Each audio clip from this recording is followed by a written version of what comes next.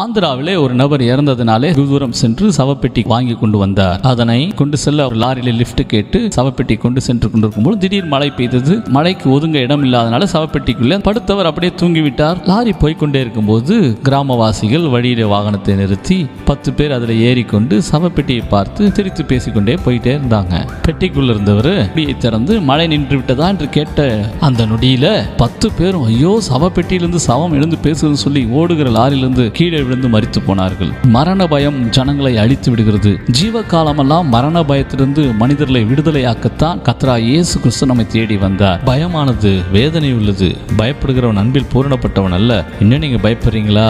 பயத்துக்கு இடம் கொடுக்காதீங்க. நீ பயப்படாத நான் உன்னுடன் சொல்லுக்கிற ஏசப்பா கிட்ட வாங்கலேன் உங்க மரண பயம்லாம் ஓடி போயிடுங்க.